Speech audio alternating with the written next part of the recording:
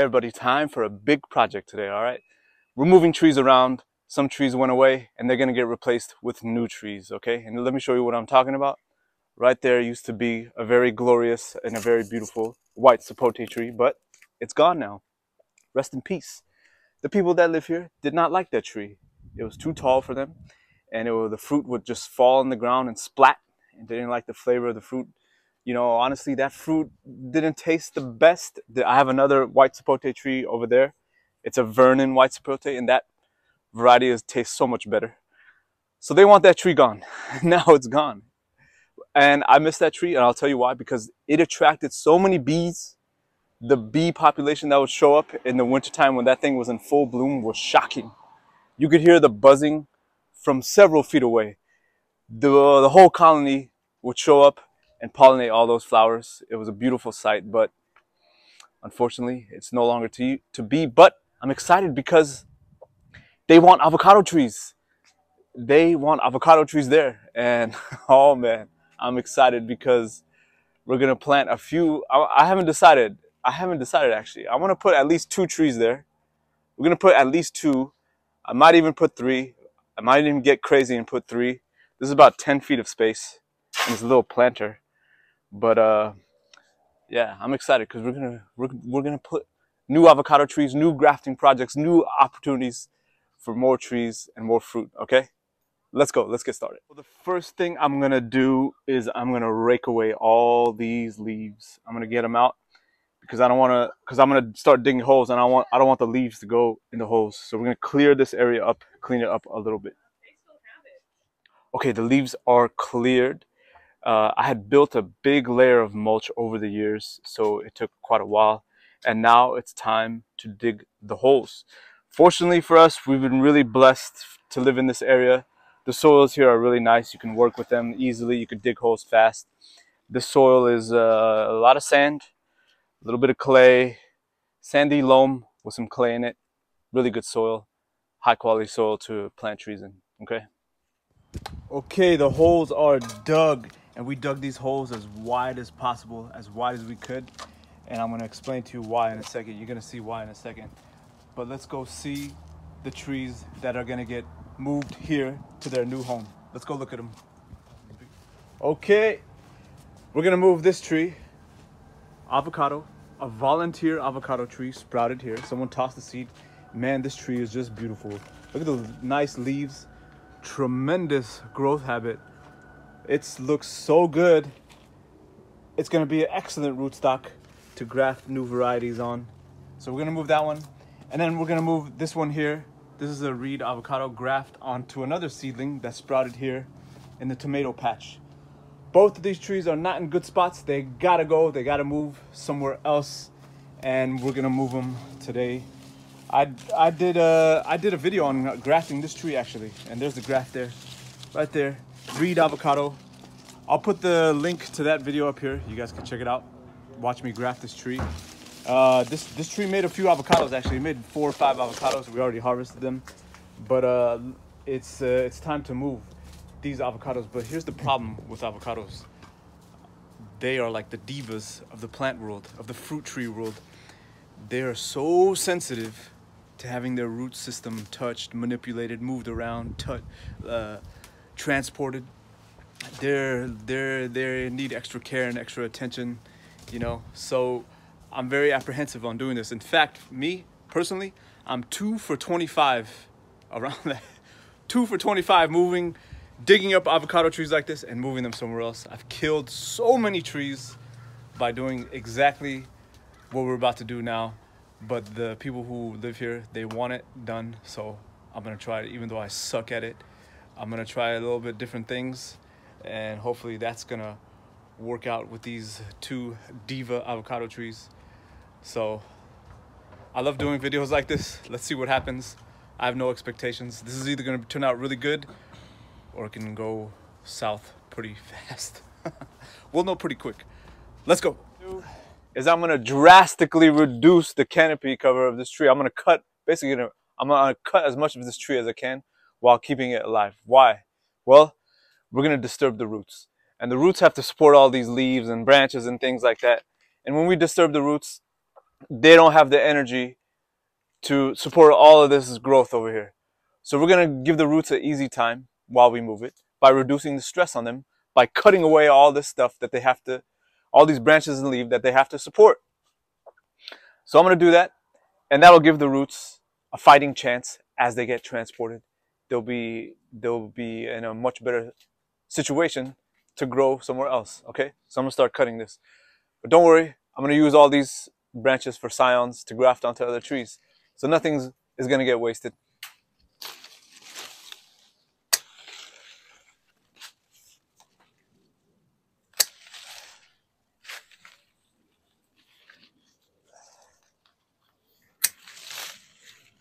Okay, this is what it looks like now. I cut so much back. The graft is here. Hopefully gonna, we can save the graft. But if the graft doesn't make it, uh, I can always re regraft onto this tree because it has a strong trunk down here, good trunk system that it can take another scion. So I'm not too concerned if the graft doesn't make it. But it would be nice if it did. Okay, so the reason why we dug the hole so wide is because we want to preserve as much of that root system down there as we can. Avocados have a lot of little feeder roots that are really sensitive. I'd say 90% of their roots are in the top six to six inches to one foot of soil. So we want to save as much of those little feeder roots as we can by digging around that area right there.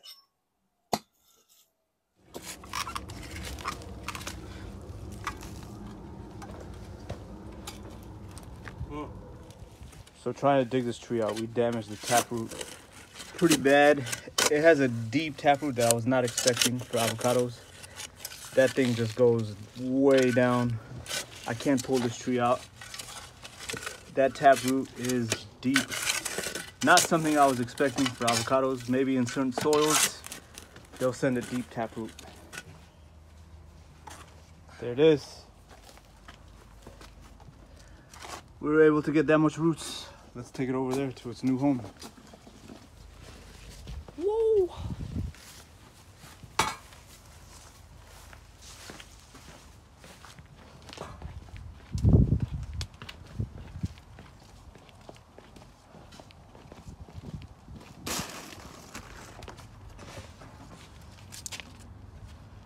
So, push it in. Yeah, that's a good spot. Lift it up, actually. Lift it up. So we damaged this taproot. Lift it up. We damaged this taproot here as we were digging it out.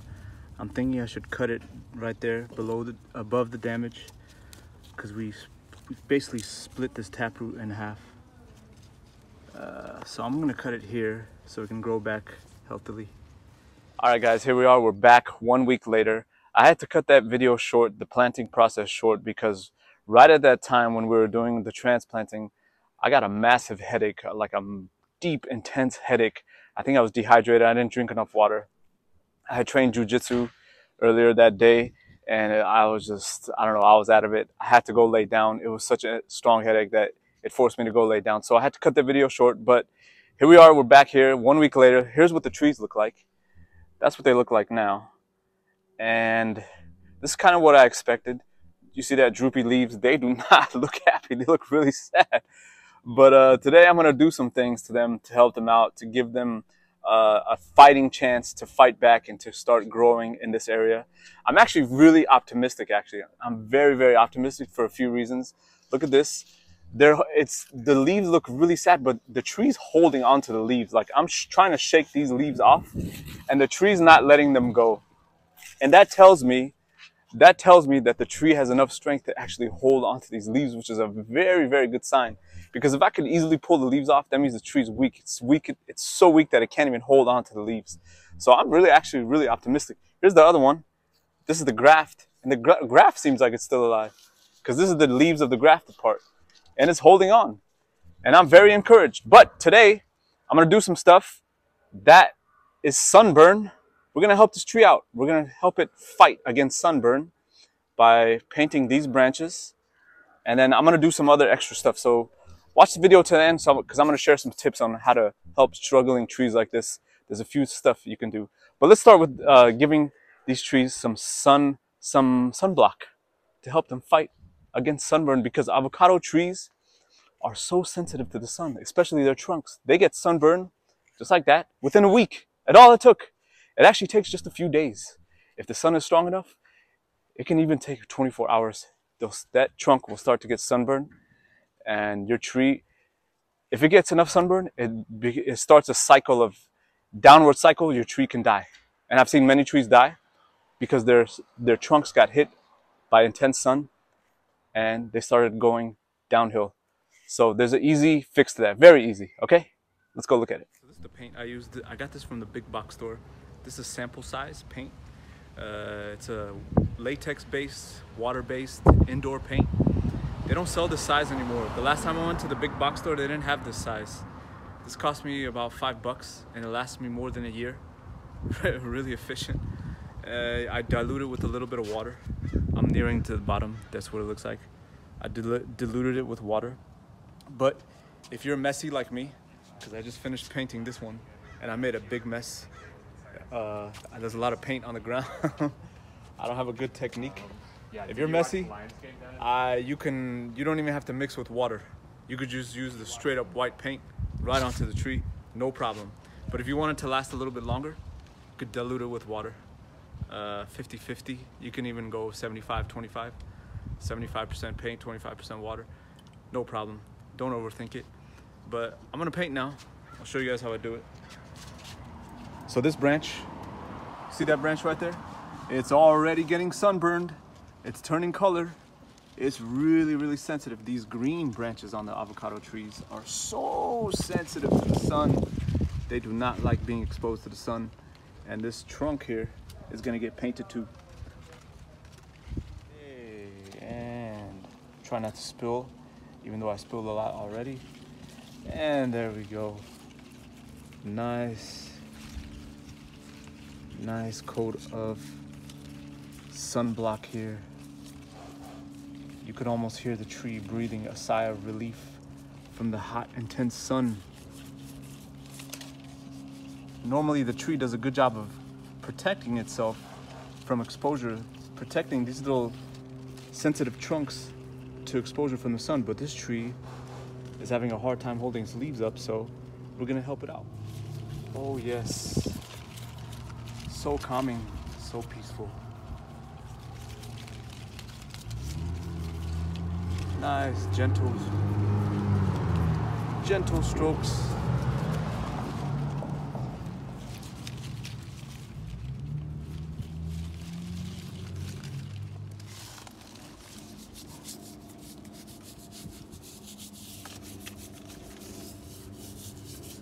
Anything exposed to the sun gets a coat of paint.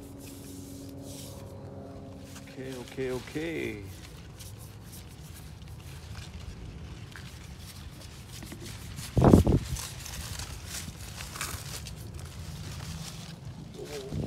All painted up. I made a mess down here. That's what I'm talking about. There's a lot of splatter because it's mixed with water uh, by the way, if paint falls on the ground here around the tree, it's never been a problem. I've painted hundreds of trees and made a, hundreds of messes and I've never had a an issue with paint damaging any soil or the mulch around these trees. No big deal, no big problem. Don't need to overthink that. And there we are. That's step number one.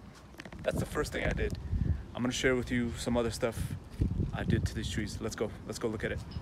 Okay, so right now you got to think of these trees as being in the hospital right now. They're in intensive care, they're in special treatment, and so they need some of the best access to the best water and the best nutrients to keep them going. And the best water is rainwater. Luckily, we've been able to, we harvested a bunch of rainwater over there from the last Hurricane Hilary that hit, uh, that hit the Southern California area in August. We got a lot of rainwater from that, 55 gallons. So I've been giving these guys rainwater every day. Rainwater is a secret, something that trees love and they need it, especially trees like this that are struggling, they love rainwater. So we got the water covered and now we gotta talk about nutrients. These trees need nutrients now more than ever. They need all the help they can get and that's where we step in and we give them some of the best nutrients, the best fertilizer that will help them recover. Luckily for us, that fertilizer is free. And we produce it constantly. And that fertilizer is, that's right, it's a urine. That's right, pee. Pee on these trees, they've been getting peed on constantly, all right? The first two or three weeks of their life in that their new home, they're getting hit with a lot of urine. And trees love it. That's a secret weapon, all right? That's right, pee. It's crazy. But they like these trees, they like to get peed on. Urine has a lot of nitrogen and it has a lot of nutrients, micronutrients that trees absolutely love. And when trees are struggling like this, they're gonna get a lot of urine. Urine, in fact, is so strong, it's so powerful that I have to dilute it. So I do, every time I'll pee in a, I'll go pee in that bucket over there and I'll add a bunch of rainwater to dilute it. And I hit them with that, with that mix, that formula. And they, they, trees seem to really love it. If I've given you fruit in the past, if you know me and I've shared fruit with you, don't worry. I don't pee on the trees that uh, that produce fruit. I just pee. I just pee on trees that are like that, that are get newly transplanted, or trees that are dying or struggling.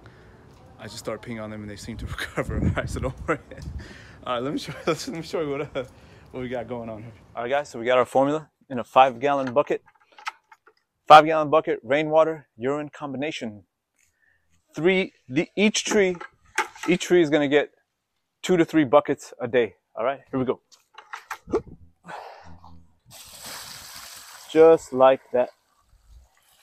Starting to overflow. So I'll go to this one. There we go. Okay. Two to three buckets a day. Regarding, I forgot to talk about spacing. Let's talk about spacing real fast. These trees are planted four feet apart, three, four feet apart, absolutely not a problem. You know, I learned my lesson when I went to the wild forests of southern Mexico and I saw wild avocado trees in their native habitat growing in the forest, less, less, even less, even closer, two feet apart, one foot apart, growing fantastic, fantastically, growing beautifully, growing tall, full of fruit, both of them. So when it comes to spacing, especially when it comes to two types of the same tree, there are absolutely no rules to spacing. Okay? So plant them as close as, as you want. It's all up to you how close you want, especially when you're planting two of the same thing. Mango and mango. Avocado, avocado, citrus, citrus. They love being close to each other. They're like, it's like a family, man. Get them really close. No problem at all. They'll produce heavily and they'll produce fantastically. Okay? Especially if I start grafting different varieties on here. Oh man, it's to be a party. It's to be awesome. It's to be fun. All right. So if you like that video, if you like me talking about urine, give me a like, subscribe, leave me a comment. Let me know how your trees are doing. I always love to hear about it. Okay. Thank you for watching. Bye.